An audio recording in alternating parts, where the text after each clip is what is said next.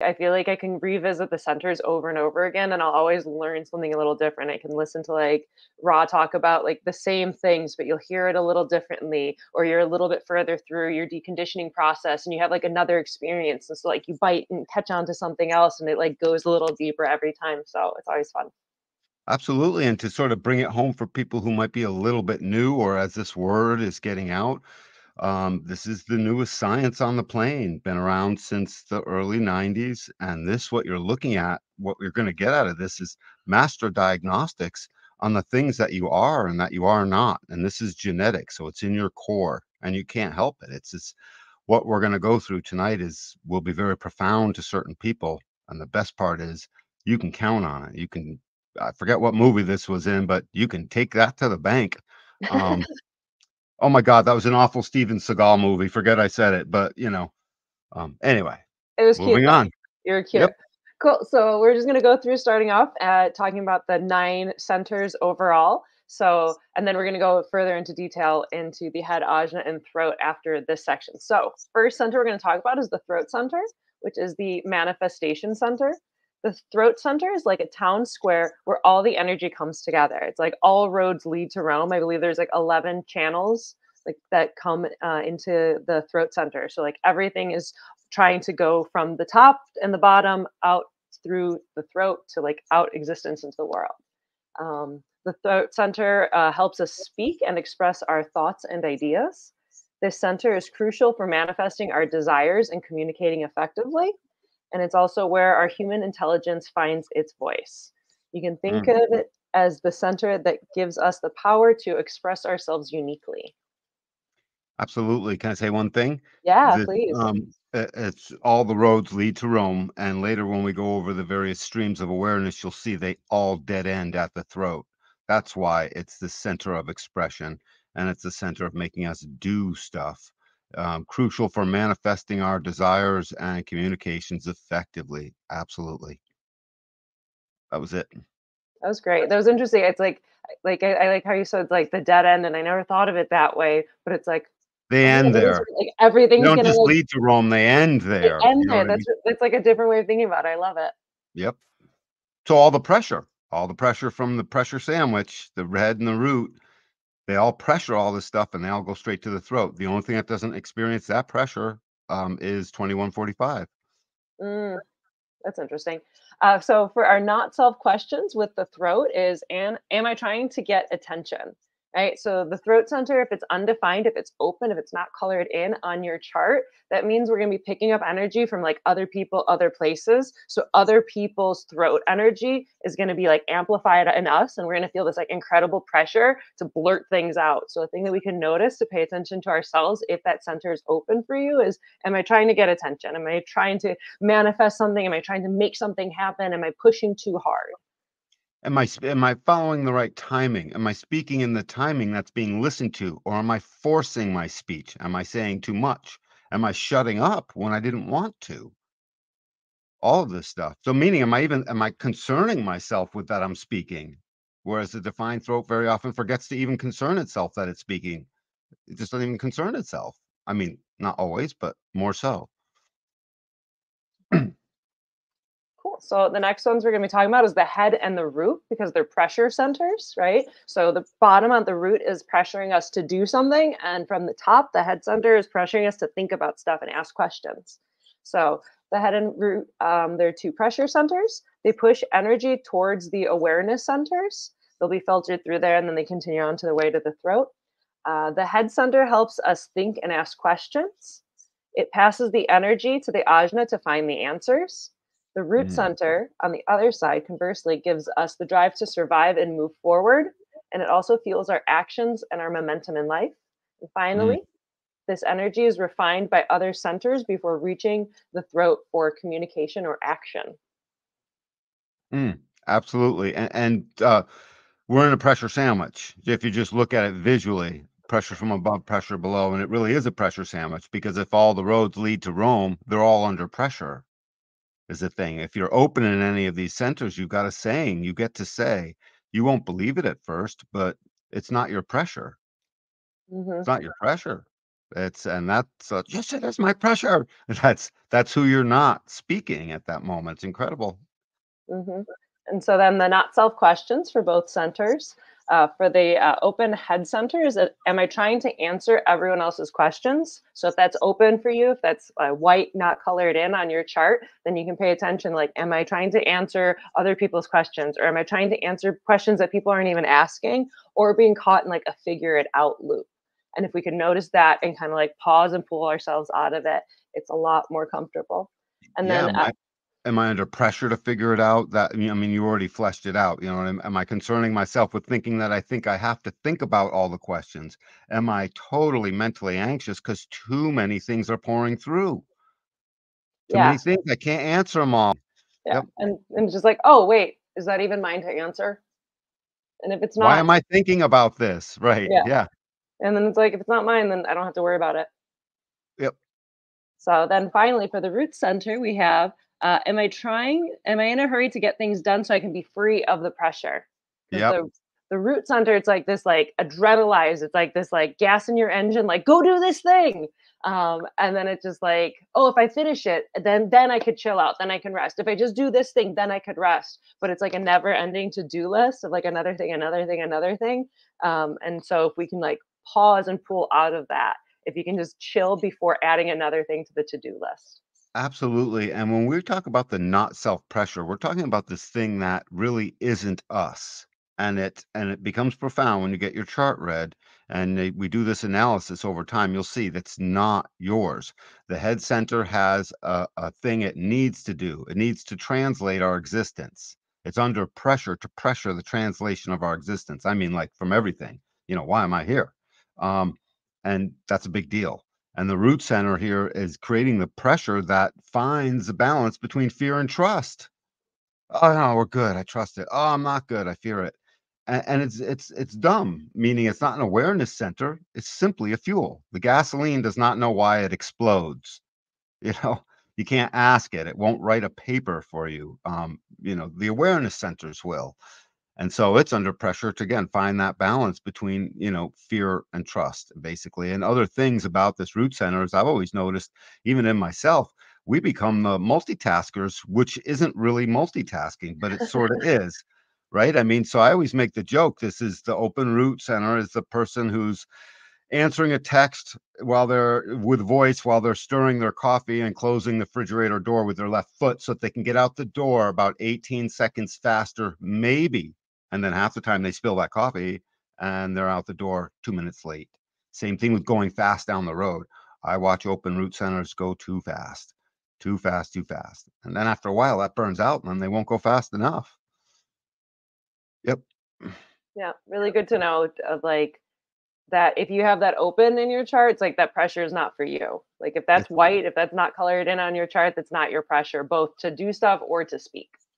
It's not yours. And that's hard to grasp grasp with. And all these pressures are pointing at these awareness centers. We are hmm aware creatures, and the solar plex is the newest awareness waking up. So that's what we're looking at right now. These are the three awareness centers. If you notice, the pressure centers are pointing right at them.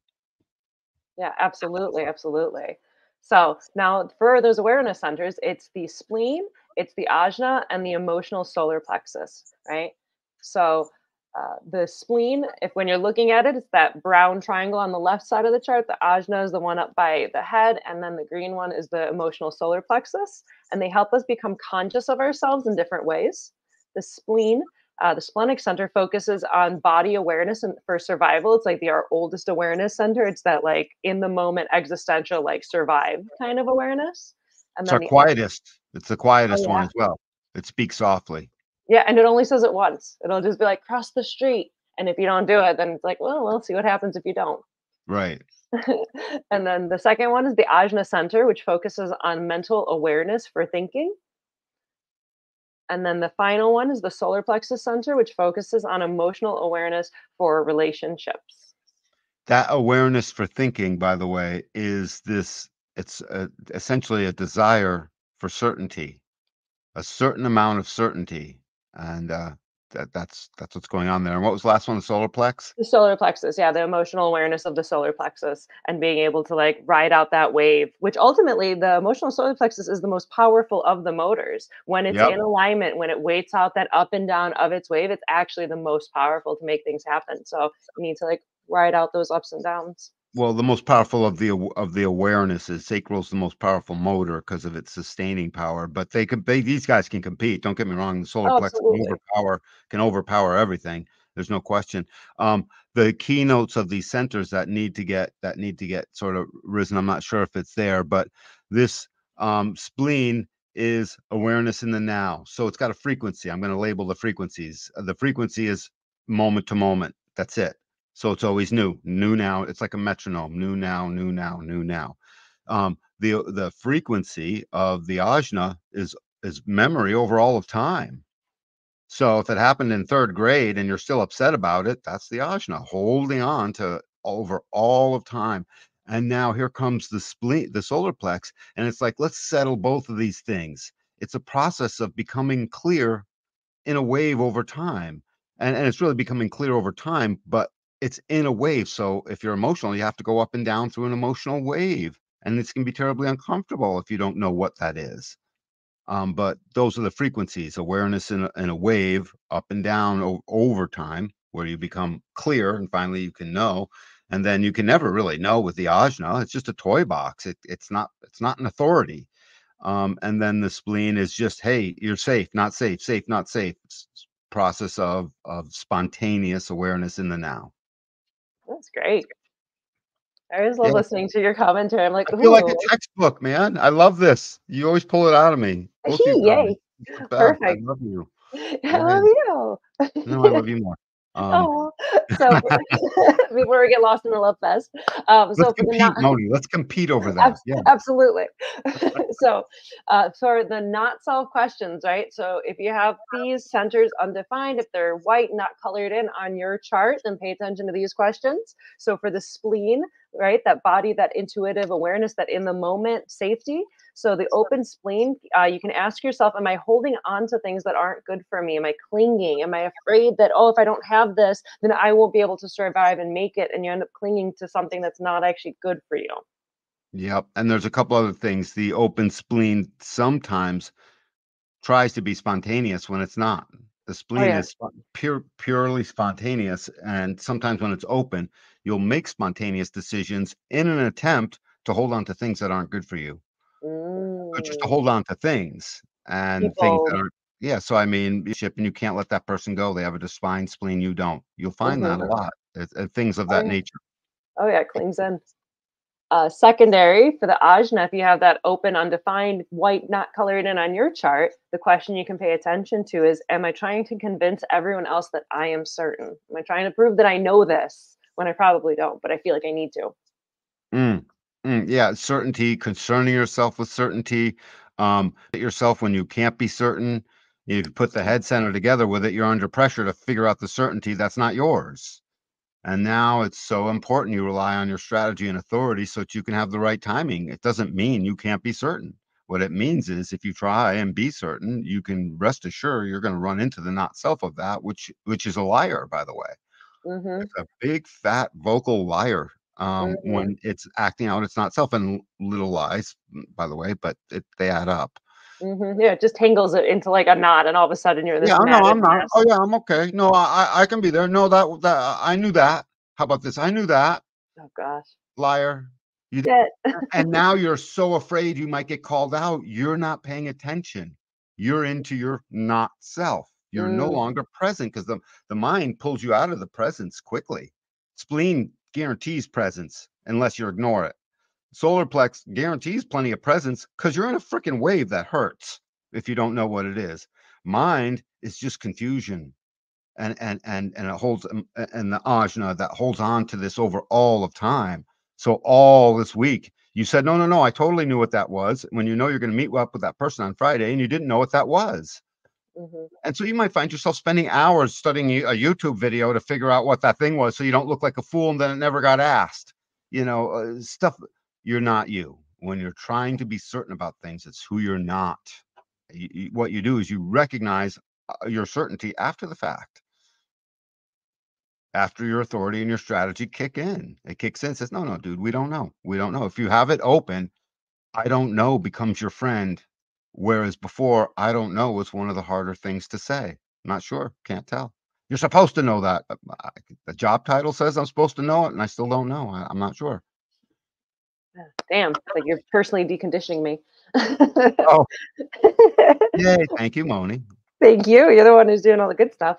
Um, so finally, for our last awareness center, the emotional awareness, your solar plexus, uh, if that's open, undefined, white in your chart, then the question you can ask yourself is, I am I avoiding confrontation and truth? Because Yep. we can be so afraid of the emotional people around us of like, oh no, if they're in a bad mood, it's going to feel really bad and trying to keep everyone happy. Absolutely. And and it's since all of these centers are in all of us, whether they're defined or not, it's all in the world. So trust me, your spleen is trying to be afraid, whether it's defined or not. Your mind is holding on to all of those things that you experienced your whole life every time the emotional wave went into you and was uncomfortable and you had to avoid it. It- This thing is so powerful, it goes into you from the other who is defined. And suddenly it doesn't feel good and you just want to get out. You're like, I don't want to do this. I don't want to be here.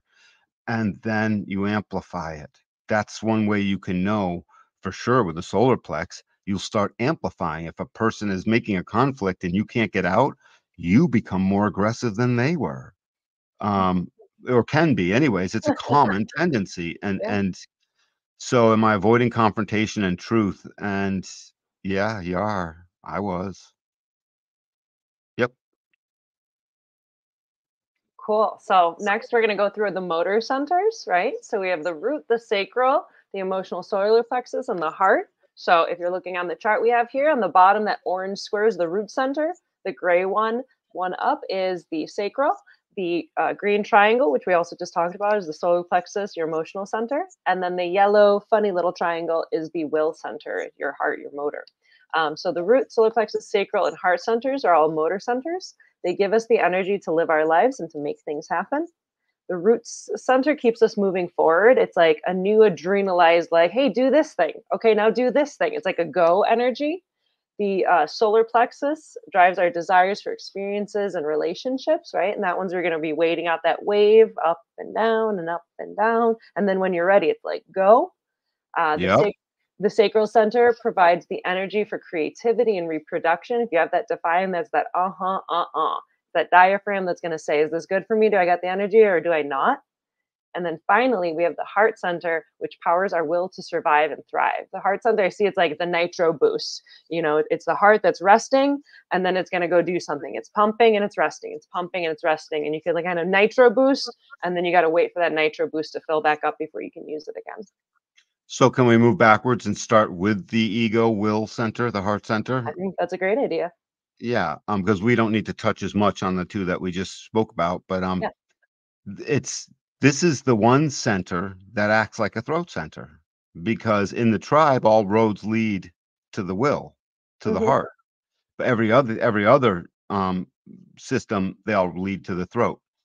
Um so everything dead ends into the will center into this heart center and it's the ability to keep a tribal bargain to keep the tribe going. It's the sensitivity to the needs to support things and and to do stuff and as rob would always put it to build the temples you know because it's a lot of work dude a lot of stone people die you need slaves it's no good you know i mean it's hard.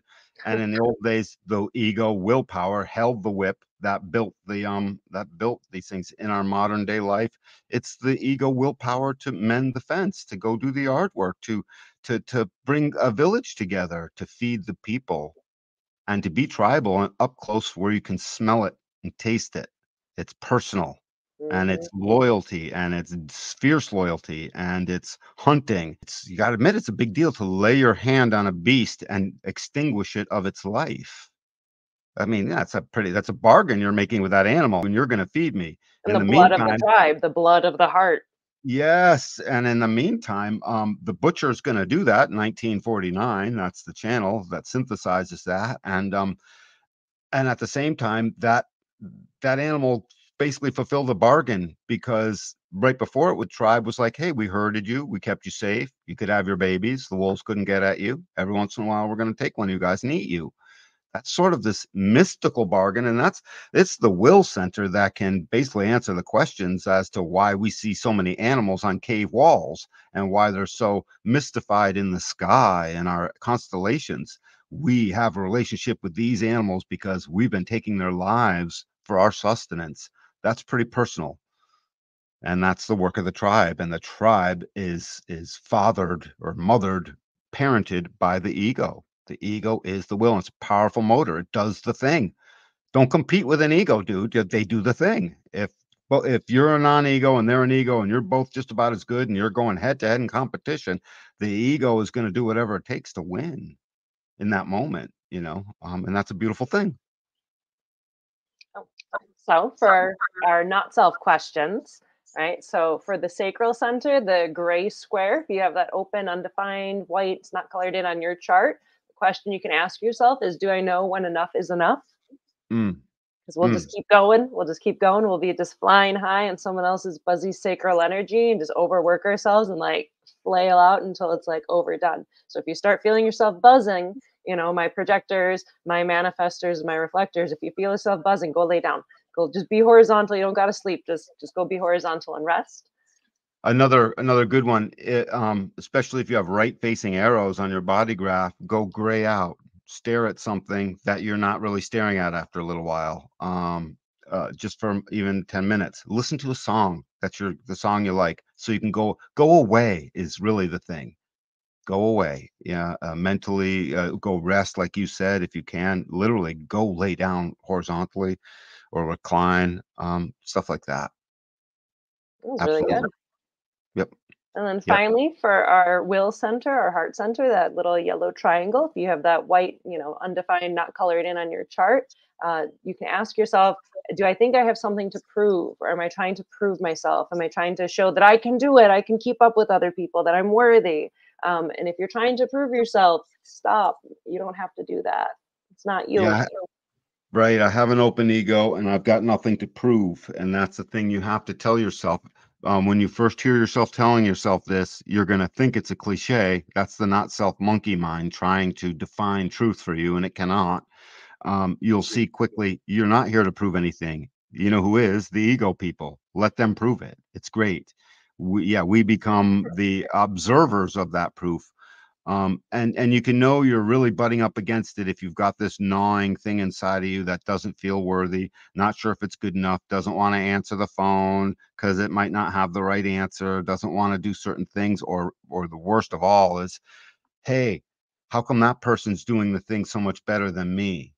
If you find yourself Mm, asking that question how come they're famous? How come they're this? How come that you know i did the same thing how come i'm not as good it's you're not not as good um it's just the timing wasn't right for whatever not everyone gets to be wealthy and famous you know but ego people will tend to make more money because they have the ego will to demand it. Generally speaking so yeah comparison is the thief of joy is And the what? is the thief of joy. Oh that's it could be yeah yes it'll- and in any regard on any of these centers like that's the not self. You're there you go. Your comparison your is your not self. Your not self is the thief of joy because it's like it's not you it's not your trip and it's like you have no idea what somebody else's life is. You have, like Leave it on- you, you oh, know. oh, go ahead finish your thought. I was just gonna say it's like you can see the guy who's just like driving around in a convertible with like the sexy girl and all that and you can like think like oh that guy's got it and it's like you have no idea like what is going on in his life and like how miserable he might be underneath like a facade and it's just like you don't want other people's problems like A couple of those things that are in, incumbent in what you were just pointing out wi- is that guy driving around that convertible 70 you know 65% of the planet has this will center open and um and because of that that guy chances are is open ego you know chances are and all that stuff is there to fill and supplement the openness of his will center to try and prove something he didn't need to prove mhm. it's it's really gross. It makes us do really really yucky things. Um, absolutely. Can I can I do something with cool with this to show properties of these charts? I mean, I'm here for it. yeah, I'm just gonna. Do you want to, or do you want to give it a try? do you want me to do it? To key, this is what we do. So we we we stack up various aspects of your chart when we're reading for you, when we're letting you know the things, so that you can finally have the fruitful life you've always wanted. And come to know this knowledge in yourself, grow. Um, but what we do is we take these various aspects. Like here's four aspects right now in this chart. These four centers. These are all keynoted meaning we can say something about each one of them separately. If all if these four centers are open in a body graph, keynote the misery that person is unjustly putting themselves through. Do you want me to do it, or would you like to? I can try it. I can try it. So, uh, under pressure to prove yourself, to avoid conflict, and not knowing when enough is enough. Absolutely. Yeah. And it sounded like a simple thing she just did, but it's not. It's profound. You're looking and reading this person, a person I'm reading for you, and suddenly you'll be saying stuff, and I'll be like, that's because you're under pressure. You've forgotten, lost track of when enough was enough. All your energy that you don't have to sustain is trying to sustain because you need to prove you are worthy. And the people you're trying to prove it to, you're going to have a conflict with if you don't. And so now you're going to run away and hide or lie and burn yourself out. It's awful. Thank you, Moni. Was that Thank good for you, honey? That was great. All right, finally, our last center, the identity center. So that's that little uh, diamond right in the center of the Mhm. body graph, right? So The jewel. yeah, the G center is also known as the identity center. It's like a magnetic compass. It's a magnetic monopole, so it's like a one-way facing magnet. So it's just like pulling us onto like our trajectory, of like where we're supposed to be going and what's supposed to be coming towards us.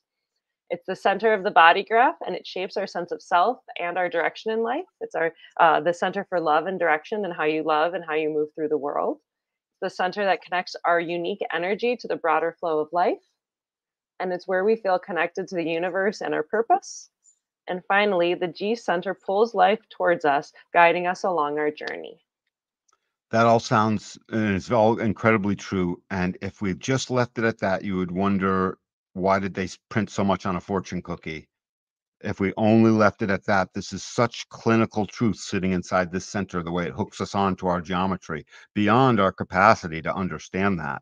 All I can tell you is if we start reading the gates in your G center and in your body graph and in your nodes, we're going to find out 10 years later why you are where you are from whence you came. And then it won't sound so much like a fortune cookie anymore. Holy cow. I'm genetically predisposed to do what the G center does. You know, this identity that it proposes for us to be, it's that seems like a nebulous word. Oh, this is the home of your identity. If we leave it at that, it's like, oh, that's cute. What does that mean? right? So, but it's very specific because there's the of all the centers, only one center houses two um completely two incarnation crosses. And that's this center. All of the vessel of love and all of the sphinx are in this center only. And what's it tell us? The direction of humanity is towards communion, empowered by love. I mean, the universal love of all things, the love of humanity, the love of ourself, the love of our bodies in this world, walking around, experiencing things. If you don't think you love your body, have sex with your partner, you'll find out you love your body. Okay. and you'll think that's not enough. It is, it's there. My point being is it's just it's a proof positive that genetically speaking love is a force just like einstein said before he died he was like i, I should have published this long ago he was probably afraid of the conflict you know what i mean and he and so forth i should have done this long ago i've determined that love is a force in the universe he said he couldn't explain all of it Mhm. but he was able to put it into a, an equation l equals mc squared and he did it past the speed of light and he was serious. And the love that is in this the vessel of love this these four gates that are the vessel empower the direction. And gate two of this direction is the home of the magnetic monopole. This monopole is a physical phenomenon the scientists have been looking for it for for several decades now because they theorize for it because they're smart. Of course they theorize for it. Something else is acting on the universe and when they can't tell what it is there's one in each of us.